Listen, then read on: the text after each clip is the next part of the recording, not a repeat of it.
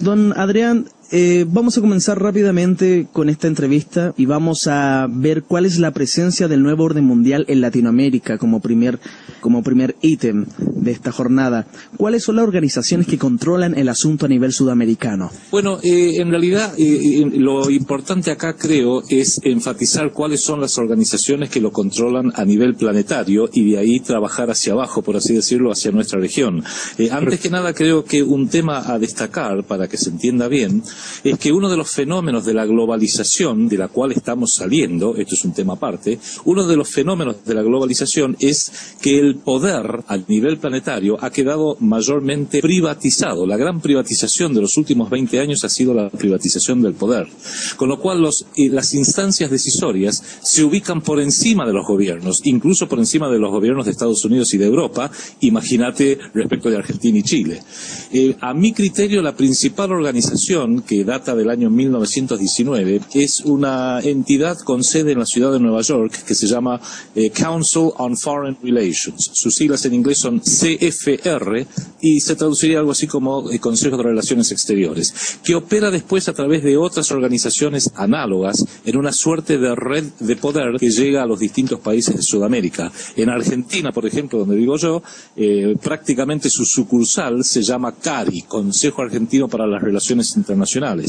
pero también hay otra que vale la pena destacar, creo que también en Chile está el Instituto Chileno, eh, eh, vale destacar que es la American Society, que tiene su sede exactamente cruzando la calle del CFR, en la esquina de la calle 57 y Park Avenue en la ciudad de Nueva York, y al igual que el CFR, tiene como presidente vitalicio a David Rockefeller, y actualmente tiene como sus principales funcionarios, la American Society, eh, a John Negroponte, de triste recuerdo de la época de Bush, eh, a William Rhodes, que es el actual eh, vicepresidente de Citicorp, y otras personalidades de la banca, de las empresas y de la política de alto nivel. La American Society suele tener miembros de distintos países de la región, eh, en el caso de Argentina tiene ya varios, y opera como una suerte de interfase para los, para, en el caso de, los países de Latinoamérica, entre la sede del poder mundial, que es esta organización CFR, y otras organizaciones análogas en el primer mundo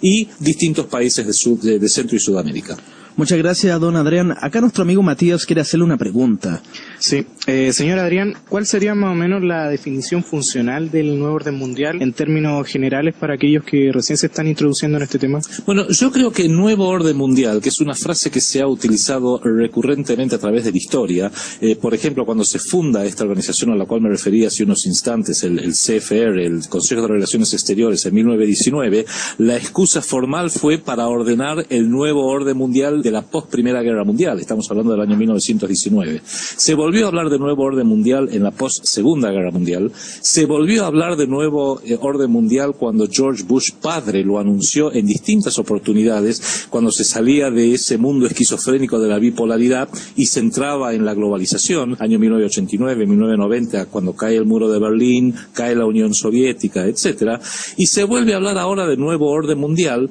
en momentos en que a mi juicio se está concluyendo la etapa de la globalización para dar lugar a algo mucho más terrible e inmensamente peligroso que es el gobierno mundial. Con lo que, sintetizando, te diría, nuevo orden mundial es una especie de descripción de los hitos, los puntos de inflexión, las, grandes bisagras en este proceso que, que conduce hacia un gobierno mundial, cuando se pasa de una etapa hacia otra dramáticamente distinto, distinta. Insisto, la última vez que lo vimos fue cuando se pasó del mundo de la bipolaridad que llevó a la caída de la Unión Soviética, la caída del muro de Berlín, la reunificación de Alemania, el fin del comunismo y se pasó a la globalización. Pero la globalización, insisto, no es una etapa final. La globalización ha sido una transición hacia lo que tenemos ahora, otra etapa de nuevo orden mundial con dramáticos cambios que pretende conducir al planeta entero hacia un gobierno mundial coercitivo de alcances planetarios.